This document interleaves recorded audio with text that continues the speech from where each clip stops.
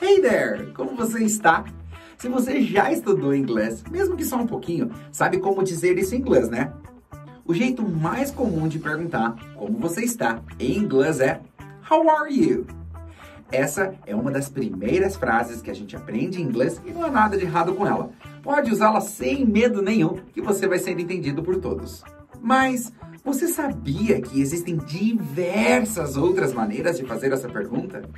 Nesse vídeo, nós vamos ensinar 10 formas de perguntar como você está em inglês e como respondê-las. Vem comigo! Number one! Número 1 um é um clássico, que a gente já até comentou aqui. How are you? Number 2 How are you doing? Que significa como vai? Uma resposta que você pode usar para essa pergunta é I'm doing great. Estou ótimo. Você poderá usar How are you doing entre amigos, familiares e pessoas com as quais tem mais afinidade e contato. É um pouquinho mais formal que How are you. Number 3. Número 3, How's it going? Que significa como vai, tudo bom? Uma forma de você responder Not bad, nada mal.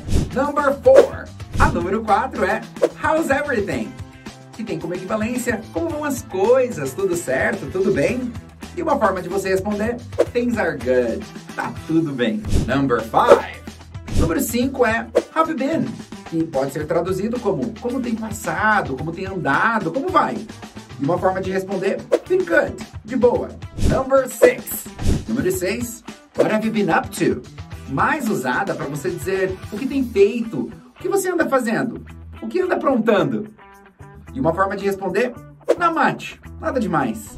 Number 7. Número 7 é um pouco mais informal que os últimos chunks. What you been up to?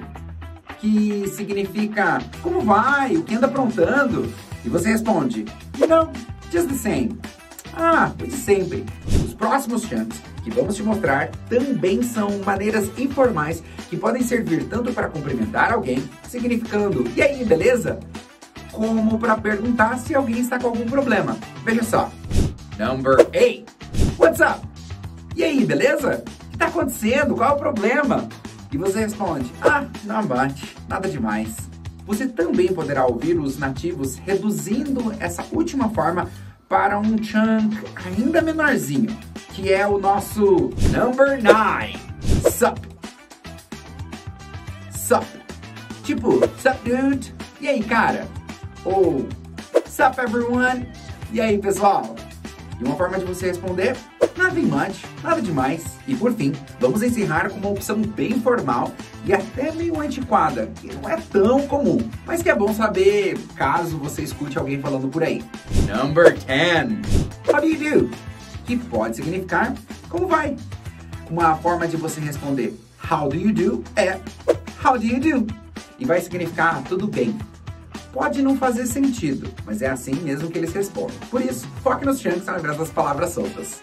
E aí, curtiu o vídeo? Comenta aqui embaixo qual tema você gostaria de ver por aqui.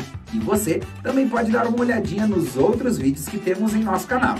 Tem várias outras dicas como essa para você aprender inglês. Te vejo no próximo vídeo. See you soon!